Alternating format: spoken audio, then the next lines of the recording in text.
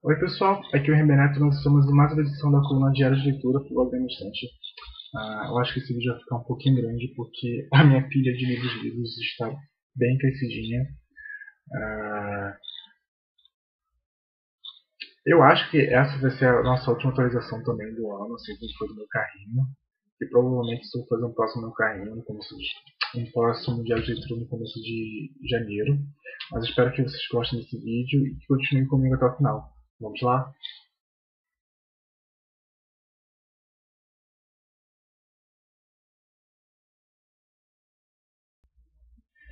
Bom, falando agora primeiramente dos livros físicos, é lógico. O primeiro livro físico que terminei desde o nosso último diário de leitura foi Secret Vampire, o primeiro volume da série Nightbolt da Disney. Se não me engano, Secret Vampire já foi lançado por aqui no Brasil pela editora Galera como Vampiro Secreto, alguma coisa assim, não me lembro nome em português.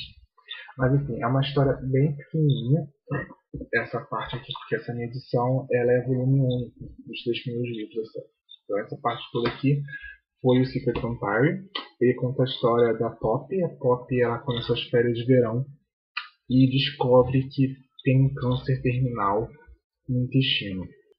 Esse câncer, por ser numa região de difícil operação, ele tem altos riscos, então a Pop ela só tem basicamente poucas semanas de vida. E ela fica chocada, é lógico, e ela vai pedir ajuda pro, pro melhor amigo dela. Só que o que ela não sabe é que o melhor amigo dela, e por quem ela é secretamente apaixonada, é um vampiro e ele faz parte dessa organização, organização chamada Nightbolt. Então, para salvar ela, ele começa a fazer planos de transformar a Pop em um vampiro para, é claro, ela não morrer. Ao contrário da maioria da humanidade, ou 90% da população mundial, eu gosto dos livros da Disney, eu gosto da escrita da Disney. E Secret Vampire não foi diferente. Foi um livro que, mesmo em inglês, eu consegui ler ele em um dia, indo e voltando do trabalho. A, a escrita dela, apesar de ser terceira pessoa, é bem fácil. Ah, você lê bem rapidinho, porque são histórias basicamente curtas. Eu gosto, sabe, desse clima meio anos 90 que os livros passam, porque a maioria dos livros dela foram escritos nos anos 90 e tal. Então eu gosto dessa coisa meio vintage que os livros dela de Smith me passam. Dei, se não me engano, três estrelas para ele, porque não é ruim, mas também não é um livro mais maravilhoso do mundo, é mais um livro mesmo para passar o tempo. Então, assim que der, eu leio a continuação. Eu tenho ainda outro ônibus da série. E, enfim, gostei, eu curti o livro. Dei 3 estrelas e meia, mas 3 estrelas no escuro. Assim que eu terminei Secret Vampire, da Elida Smith, eu me dediquei mais a Caminhos de Sangue, primeiro volume da série Dustland, da Murray Young, lançado pela editora Intrínseca. Como eu falei na, no nosso último de leitura, esse livro aqui é uma distopia, mas ele não segue aquele lado mais sci-fi das distopias já adultas atuais. Uh, basicamente, o mundo de Dustland está em ruínas, um, vivendo em sistema completamente feudal e ultrapassado. E no meio disso tudo, nós temos a Saba, que é a nossa protagonista e narradora. A Saba ela vive completamente isolada com a família na Lagoa da Prata, um lugar afastado que não tem contato com ninguém. E basicamente é só ela e a família mesmo, então a educação dela é nula, ela é uma garota bem bronca, e isso está bem presente na narrativa dela no jeito como ela fala. Que você encontra vários erros, mas não uh, são erros bem característicos, sabe? De, de pronúncia, de fonética. Justamente por ela viver no interior. A história realmente começa quando o irmão gêmeo da Saba, o Luck, ele é sequestrado por um misterioso grupo de soldados. Ela não sabe para onde eles estão levando o irmão. Ela fica desesperada porque o irmão dela é o melhor amigo dela, é basicamente tudo da vida dela. Então ela vai e parte com a irmã mais nova, que ela não tem uma relação muito boa, para conseguir recuperar o irmão de volta. E nisso nós vamos descobrindo mais sobre esse mundo distópico criado pela Young e nós fazemos uma verdadeira road trip através do, desse universo que a Young criou. Eu, desculpa, gostei muito, muito, muito de Carne de Sangue. Eu achei a história toda muito original. O universo dela, por ser, como o próprio título fala, Dustland, basicamente é deserto e lugares mais áridos. Eu gostei muito disso, sabe? Dessa coisa bem catastrófica que nós temos por trás de todo o caminho de sangue, como esse mundo vai tentando se reerguer de uma forma errada. ah, é, nesse, nesse, livro nós temos ah, muita violência, nós temos a referência a drogas, muita referência a drogas também. E por mim, esse livro aqui era, seria um, um volume único, porque tudo que acontece é bem fechadinho, é bem amarradinho. Não, não vi necessidade do livro continuar numa continuação. Lógico que ia continuar numa continuação. Mas enfim. Uh, tem uma brecha. No livro você dá para perceber qual é a brecha que a autora deixa para a continuação da série. Mas por mim, se fosse só esse aqui, o universo estaria perfeito. Assim. Gostei muito de Caminho de Sangue. Dê 5 estrelas para ele também, me desculpe. Depois de Caminho de Sangue, uh, eu peguei para ler Instintos Cruéis, da Carrie Jones. Esse livro aqui eu tenho lançado por aqui pela editora Underworld. Eu tenho esse livro aqui há bastante tempo na estante. Eu comprei ele na Bienal aqui do Rio do ano passado.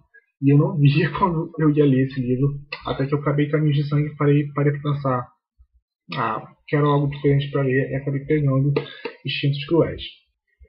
A história de Caminhos de Sangue começa após a Zara ser mandada para morar com a avó em uma cidadezinha no Maine, uh, após ela passar por um longo período de depressão por ela ter visto a morte né, do, do padrasto dela, que é basicamente o pai dela, é que foi ele quem criou ela.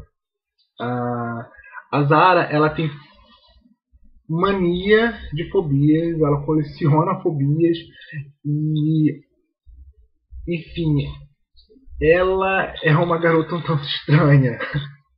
E tudo começa a ficar mais estranho ainda quando a Zara percebe que está sendo perseguida por um cara misterioso que fica chamando ela do meio das árvores da floresta da cidade e para onde ela vai parece que esse cara sempre aparece e um pouco depois ela acaba descobrindo que esse cara na verdade é um pixie, né? Um tipo de fada, né? Só que nesse livro aqui as fadas não são do bem, elas são do mal, elas são o vilão da história.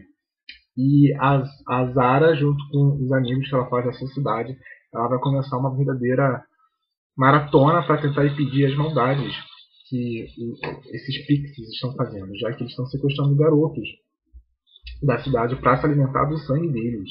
Então é algo bem creepy. e logo a Zara vai descobrir que para salvar esses garotos ela vai ter meio que se sacrificar, né? Porque esse esse pixie precisa dela para continuar a sociedade dos Pixies, né, o reino dos Pixies. E se ela não aceitar, ele vai continuar sequestrando esses garotos e, e né, tomando a vida deles. Enfim, gostei muito da mitologia desse livro aqui. Foi o primeiro, primeiro contato com fadas mais sombrias, já que na série Encantados de Ferro as fadas são do bem, né? Até o, o, lado sombrio da história ele é mais, ele não é tão cruel quanto os pixies aparentam aqui na série da Carrie Jones. O começo dos capítulos desse, desse livro aqui é impagável porque são nomes de fobias, então eu me deparei com fobias que eu não, não, sabia nem que existiam. Se esse livro me trouxe uma coisa, foi um conhecimento sobre fobias enorme. Ah, é um livro bem amarrado, é um livro bem redondo, é um outro caso de, de livro que eu não acho que não precisava de ter uma sequência, já que todos os fatos eles são bem amarrados e toda a resolução já acontece aqui em Instintos Cruéis, então eu não vi uma necessidade de, de sequência, porque eu não sei se eu vou continuar com a série, por mim se eu ficar só com Instintos Cruéis já está de bom tamanho. E a narrativa da Carrie também é bem peculiar, ela tem um jeito bem... Uh, o discurso dela é bem... como eu diria... É, é como se fosse uma narração contada, sabe? Não é como se ela estivesse escrevendo, é como se ela estivesse transcrevendo o que a, a, a Zara estivesse falando para ela. Enfim, gostei também, mas como eu disse, é uma série que eu não sei se eu vou continuar. Para mim, Instinto Cruel já é uma história bem fechadinha, não precisaria de uma continuação. Dei três estrelas também para ele, três estrelas e meia para ele. Para mim não precisava continuar a série o livro é bem amarrado, ele tem uma história única, e na verdade nem eu sei como é que a autora vai continuar essa série. Logo após Destinos Cruéis, eu resolvi pegar Forever Princess, o último volume da série Jordan Princesa da Meg Cabot. E como eu contei pra vocês um pouquinho ah, no nosso meu carrinho, eu tenho uma relação de amor e ódio com essa série aqui, a série Jordan Princesa. Mas como eu vi muita avaliação positiva desse último volume, eu resolvi né, acabar logo com a série e ler ele de uma vez. Forever Princess passa dois anos depois do último volume da série, que é Princesa Mia, se não me engano, o nome do livro. Então nós temos uma Mia mais velha do que toda a série. Ela já está se formando no último ano do ensino médio. Uh, e ela já está um pouco menos mimimi. Quando eu digo um pouco menos mimimi, não quer dizer que ela melhorou 100%. Quer dizer que ela está um pouco menos mimimi. Porque eu ainda vi muito mimimi da personagem aqui. Uh, eu ainda achei ela bem tafadinha para alguma menina de 17 anos. Ela tinha alguns pensamentos que meio que ah, irritavam bastante, sabe? Acorda pra vida. Mas a. Uh, foi uma história que me deu nostalgia porque, como eu disse da outra vez, né? A série de Olho Precisa foi meu primeiro contato com a Meg. Eu tava, sei lá, na oitava série quando eu li o terceiro livro dessa série aqui, peguei emprestado de uma prima e li o livro. Então eu me lembrei desse, dessa época, assim, desse tempo mais simples, mais ingênuo da minha vida. Uh, então ele teve esse quê de gostoso na leitura, sabe? Porque eu me lembrei dessa época apesar dos pesares né, de digitar com a Mia e de eu achar algumas partes desnecessárias. Mas é um livro que quando você lê, você nem percebe. Eu li esse livro aqui por 400 páginas em dois dias, porque a Meg tem isso, né? De, ainda mais nesse aqui de Já Precisa, que como são momentos da vida dela que ela vai escrevendo no diário, você vai passando e você nem percebe que o livro já está acabando. Então acho isso legal na série. Uh, de três estrelas e meia também para Já Forever Princess, né? E, enfim, foi isso. Gostei também da leitura, mas assim, pelo, que disser, que, pelo que diziam, eu esperava bem mais do livro. foi muito bem escrito. Aí, o último livro dessa minha pilha de livros físicos que li esse mês foi o As Vantagens de Ser Invisível, do Stephen Chbosky, lançado por aqui pela editora Rocco. Ah, essa minha versão aqui que vocês veem é a do Taim, porque eu não encontro mais a capa com a capa original. Enfim. Uh, sempre me diziam muito para ler esse livro aqui, mas eu sempre olhava com um pouco de receio, até que eu resolvi ler ele de uma vez. E o que eu posso dizer é que esse aqui foi simplesmente um dos melhores livros que li esse ano. O livro ele vai contar a história do Charlie. Uh, o Charlie ele está começando o ensino médio ele não tem muitos amigos, ele é um garoto bem tímido, bem retraído, e o último amigo dele se matou no, no, no, ano letivo anterior. Então ele é um garoto bem isolado, bem retraído, até que ele conhece os irmãos Patrick e Sam, Patrick e Sam, uh, que são um tipo bem peculiar de irmãos, eles têm um tipo bem estranhos de amigos. Eles não são do ano, do ano letivo do, do, do, do, Charlie, eles são mais velhos, eles estão se formando já na escola. E eles dão né, essa sacudida no Charlie para o Charlie acordar para a vida, basicamente. As vantagens de ser invisível, ele é todo narrado através de forma epistolar, né? A, a narrativa dele é através de cartas do Charlie para um amigo que nós não sabemos quem é esse amigo. Uh, mas a forma como o Charlie conta esse seu dia a dia, essa descoberta da adolescência dele, é uma forma muito simples e muito bonita. Nós tratamos vários assuntos delicados aqui. Uh, tem, como eu falei, suicídio, tem questões sexuais, tem questões com drogas, uh, enfim, tem uma gama, uma série de assuntos muito delicados, mas que o Stephen Chbosky ele traz de uma forma tão delicada tão simples eu acho que nem a pessoa mais conservadora uh, conseguiria resistir a essa narrativa do Charlie. Foi um livro que eu li muito rápido, eu li ele em um dia, mas a história é muito, muito, muito tocante. Uh... Meus olhos se encheram de lágrimas em vários momentos e assim, o Charlie foi o personagem que eu mais me identifiquei em toda essa minha vida de leitura, o que me assustou um pouco, porque uh, pelo histórico do Charlie mesmo. E, mas enfim, esse livro me tocou de uma forma que eu não esperava que ele fosse me tocar.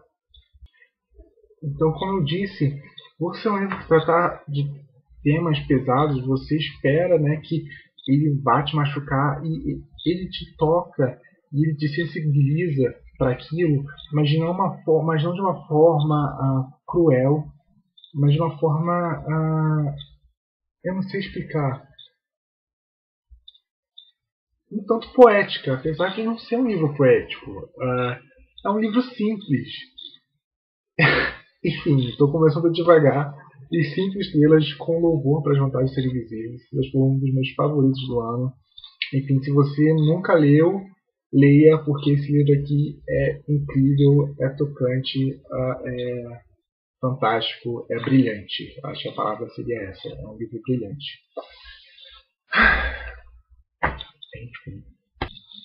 Já em e-book, uh, eu só li dois livros no tablet.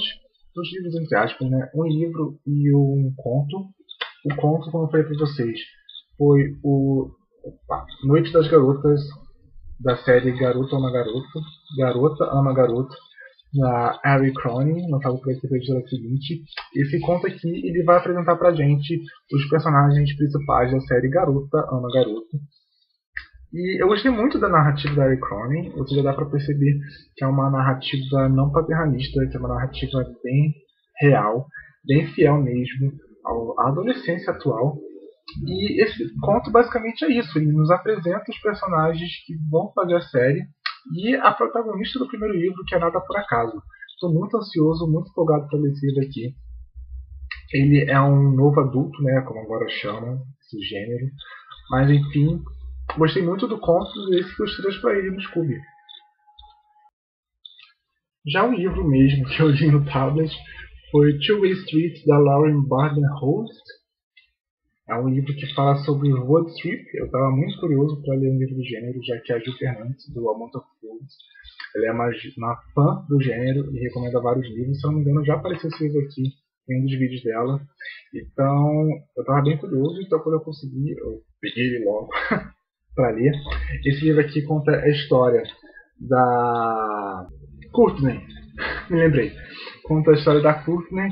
A Courtney ela está indo para a universidade, né? E ela planejou uma viagem com um namorado que está indo para a mesma faculdade dela, que se chama Jordan. Ah, e eles vão sair da, da cidade deles até onde fica a faculdade no carro, viajando de carro. E eles planejaram isso por muito tempo até que eles terminam. Mas aí o plano da viagem continua de pé e a Courtney está com muito medo disso, porque ela ainda gosta muito de Jordan, mas o Jordan trocou ela por uma outra garota. Então as coisas ficam bem complicadas nesse livro aqui. O livro ele é narrado, desculpa, tanto pela Courtney quanto pelo Jordan. E quando nós começamos a ver o Jordan, nós descobrimos que nem tudo é o que parece, que ele também ainda gosta dela, mas ele não está com ela por um motivo. E no decorrer do livro nós vamos descobrindo por que, que ele não não está com ela, por que, que ele terminou com ela e por que, que essa viagem é um desastre tanto para ela quanto para ele. Foi um livro muito bom, muito legal. Gostei muito da narrativa da autora. Gostei como a autora consegue conseguir diferenciar os dois personagens. Eu consegui ver a voz da Courtney e a voz do Jordan Uh, são dois personagens muito presentes e muito diferentes de si. Mas eu gostei muito da história. Como eu falei, foi o meu primeiro contato com o livro sobre o Road Trip. E foi uma experiência muito positiva. Uh, enfim, dei 5 estrelas também para ele no Scooby. Não, dei 4 estrelas para ele no Scooby. Uh, curti, curti bastante o livro. E é bem rapidinho. Li ele em um dia de boa. Quem puder ler, leia Two Way Streets.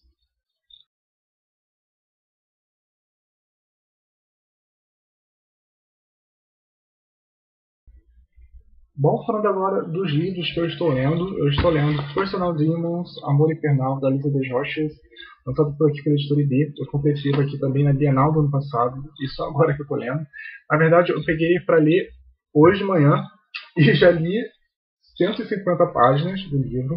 Ah, o livro conta a história da Franny. A Franny ela vem de uma família muito católica, ah, só que ela não é tão católica assim.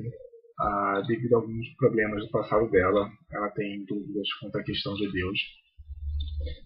Só que ela e por isso, por essa questão dela ter problemas com a, com, com a crença dela e etc e tal, ela foi expulsa da escola, onde, da escola católica onde ela era matriculada. E, mas enfim, ela é uma personagem muito viva e com sentimentos muito fortes. Só que por alguma razão, tanto céu quanto inferno acham que ela tem algo de especial para dar. Por isso, para uh, reivindicar né, a alma da Frania. Eles enviam seus dois melhores agentes. O Inferno manda Luke Ken, que é esse aqui. Opa. E o Céu manda Gabe, sim, que é um apelidinho do Gabriel. Sim, aquele Gabriel que nós todos conhecemos. Ah, só que nessa equação, né, nessa batalha do seu inferno, tudo seria muito mais fácil se o Luke não tivesse começando a se apaixonar de verdade pela Franny. Uh, então as coisas estão bem, bem, bem estranhas, já que o demônio parece não ser tão demônio assim quanto parece. Eu estou gostando muito do livro, uh, pelo menos dessa primeira parte dele. Eu estou gostando bastante da mitologia que a Lisa de Rocha está dando para o livro. Uh, ele está me prendendo. O livro é narrado tanto pela Franny quanto pelo Luke, né, que é o demônio apaixonado. Uh, tá bem divertido de se ler, assim, já que a Franny ela não é uma típica mocinha. Na verdade, ela é até meio piriguete. e ela meio que gosta de ser meio piriguete, né? mas enfim, uh, eu sempre tive vontade de ler esse livro, mas estou lendo agora. E eu vou compartilhar uma coisa com vocês, assim, eu não sei se só sou eu, mas se você é garoto, qual é a primeira coisa que você vê nessa capa aqui? Porque eu sempre olho para um ponto assim e falo, caramba. Enfim, quando, quando acabar ler Personal Demons, eu falo o que, que eu tô achando pra vocês deles. Além de Personal Demons, eu ainda tô, né, naquele meu calvário com Divergent eu não avancei muito desde que eu, eu falei para vocês aqui no primeiro vídeo. Já que, como vocês podem ter visto, eu preferi me dedicar a outros livros que eu estava realmente gostando. Não sei quando eu vou acabar, eu espero acabar ele ainda esse ano, mas a situação tá difícil pro lado da Veronica Rowe. Não tá muito boa não. Enfim, foi isso que eu li. Foi, é isso que eu estou lendo. Espero que vocês tenham gostado do vídeo. Eu acho que esse vídeo ficou bem grande, bem grande mesmo, mas eu tinha muita coisa para falar, muita coisa para mostrar aqui. Como eu sempre falo aqui no final, se gostou do vídeo, dá o, cur o curtir aqui embaixo no botãozinho, dê o like. Não se esqueça de, de, se inscrever no canal se você ainda não é inscrito, para sempre estar recebendo as atualizações aqui do canal. Não deixe também de deixar seus comentários se você já leu alguns livros, se você quer ler alguns livros, para a gente compartilhar como sempre compartilhamos, né? E não deixe de dar também seu feedback sobre o vídeo. Muito obrigado a todo mundo que sempre assiste, todo mundo que sempre acompanha, tanto aqui no canal quanto no blog. Obrigado por estar assistindo mais esse vídeo até o final. E aqui foi Rebeneto para mais um diário de leitura do blog na minha estante. Tchau e até o nosso próximo encontro.